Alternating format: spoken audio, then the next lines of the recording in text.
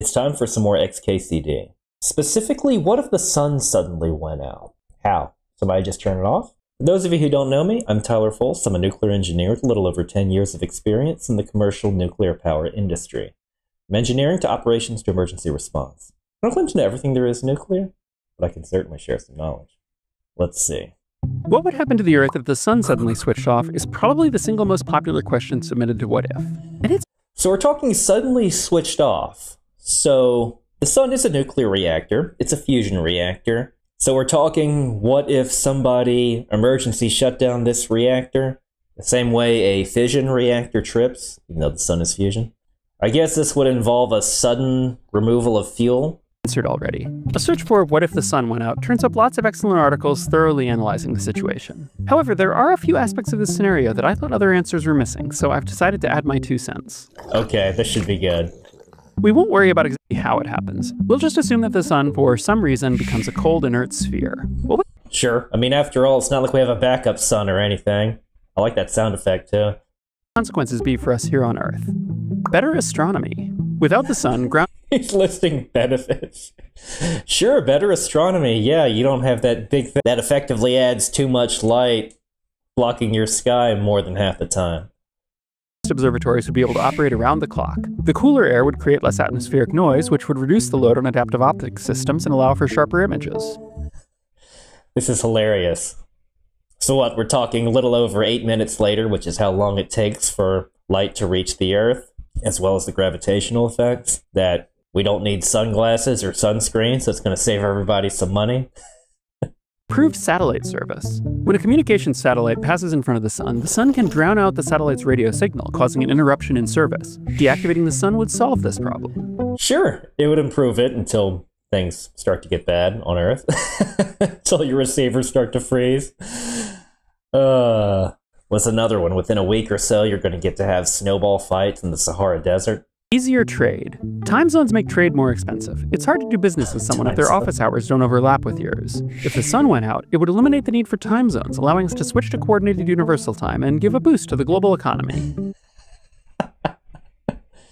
Sure, um, this would last on the order of hours before you know your supply lines freeze, but yeah, if you're able to get that coordinated in a few minutes, you might get a few benefits over a few hours or so. as far as your nuclear power plants, they would just keep running until the grid starts to fail. Of course, at that point, would you really want to cool down your reactors? All of the molten nuclear fuel might be what's going to keep you warm at this point. I'm kidding. Reduced risk of solar flares. In 1859, a massive solar flare awesome. and geomagnetic storm hit the Earth. A basic principle of physics is that changing magnetic fields induce currents in wires. Mhm. Unfortunately for us, by 1859 we had wrapped the Earth in telegraph wires. The storm caused powerful currents in those wires, knocking out communications and in some cases causing telegraph equipment to catch fire. Since 1859, we've wrapped the Earth in a lot more wires. If the 1859 solar flare and storm hit us today, it's estimated that the economic damage to the US alone would be several trillion dollars. Which is why you need to prepare for something like this by early detection and then doing controlled shutdowns so it doesn't effectively turn everything off. You don't have transformers catch fire or anything like that. This is a real event that grid operators and reactor operators prepare for. And we even have procedures that that go along with it. I mean, granted, as far as the nuclear reactor operators are concerned, it's the same as any sort of grid event involving uh, switching to emergency buses and controlled shutdowns. But ultimately, if you prepare for it, you can do planned outages on the order of hours compared to an unplanned outage where you're not prepared and it could essentially shut down your whole system for months. So, a real thing, but you can prepare for it. and every hurricane which has ever hit the US combined. If the sun went out, this threat would be eliminated. We'd also be safe from the hurricanes since the ocean would be frozen. Cheap yeah, after months, the ocean would eventually freeze. Though, in less than one month, the atmosphere would actually start to liquefy, so you can make billions selling bottled air. Liquid air. bridges. The Department of Transportation estimates that it will cost $20 billion per year over the next 20 years to repair and maintain all U.S. bridges. Many U.S. bridges are over water. Without the sun, we could save money by simply driving on a strip of asphalt laid across the ice. Safer children. According to health really? Are you talking about kids getting locked in vehicles? Experts, babies younger than six months should be kept out of direct sunlight. Without sunlight, our children would be safer. This is hilarious. Obviously, the health risk would be so much worse without the sun, but I like the way he's thinking. You also don't have to worry about mad scientists making solar doom lasers. And nuclear power companies wouldn't have to compete with solar anymore because that's effectively useless at this point, or I guess I should say more useless. Safer pilots. Many people sneeze when exposed to bright sunlight. The reasons for this reflex are unknown, but in some situations it's speculated that it may pose a danger to pilots during flight. If the sun went dark, we could mitigate this potential aviation hazard. Just gotta land Stable on the ice. dust orbits. Without sunlight, there would be no Poynting Robertson drag, which means we'd finally be able to place dust into a stable orbit around the sun without the orbits decaying. I'm not sure whether anyone wants to do that, but you never Okay, now we're getting into some weird things. All right, sure. Oh, safer parsnip. Wild parsnip is a surprisingly nasty plant. Its leaves contain chemicals called This is turning into a salmonella video, and I love it.